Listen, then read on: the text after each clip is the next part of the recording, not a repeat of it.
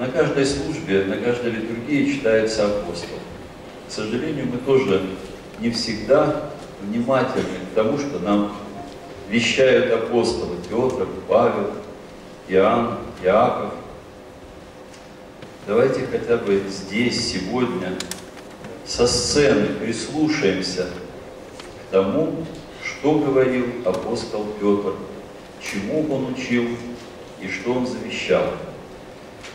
Мы выбрали первое, первое послание апостола Петра, вторая глава, где апостол Петр рассуждает о таком важном вопросе, что такое народ Божий.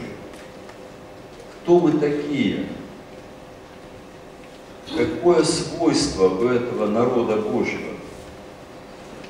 И вот это послание апостола Петра нам сегодня донесет народный артист России Борис Петрович Химичев, который специально приехал из Москвы, чтобы принять участие в нашем вечере. Но для этого чтения мы решили употребить такую музыкальную раму. Ведь апостол – это глаз Божий, это трубы. И вот э, замечательное сочинение английского композитора Генри Берсела 17 века, как называется, «Глаз трубы». Его исполнит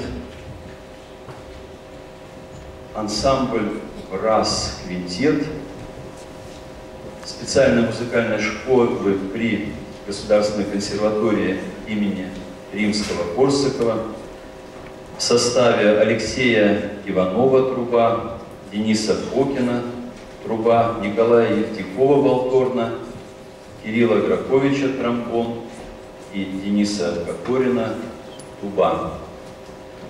Ну что ж, будем слушать глаз трубы и в нем глаз апостола Петра.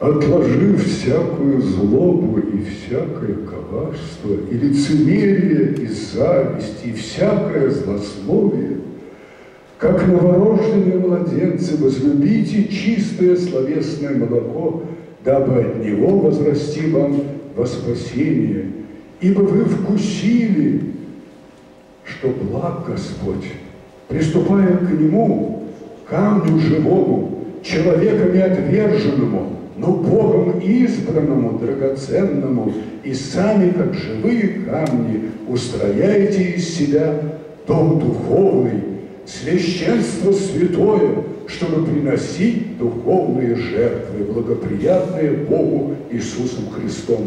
Ибо сказано в Писании, вот я полагаю в Сионе камень краеугольный, избранный, драгоценный и верующий в него не постыдится. Итак, он для вас, верующих, драгоценность, а для неверующих камень, который отвергли строители, но который сделался главою угла, камень притыкания и камень соблазна, о котором они притыкаются, не покоряя слову, но что они и оставлены.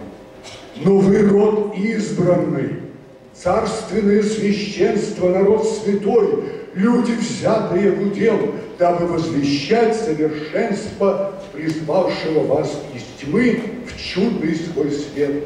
Некогда не народ, а ныне народ Божий, некогда не помилованные, а ныне помилованы, возлюбленные, прошу вас, как пришельцев и странников, удаляться от всяких похотей, восставших на душу, не возрождать добродетельную жизнь язычниками, дабы они за то, что злословят вас, как злодеев, увидя добрые дела ваши, прославили Бога в день посещения. Всех почитайте, братство любите, Бога бойтесь, царя Чтите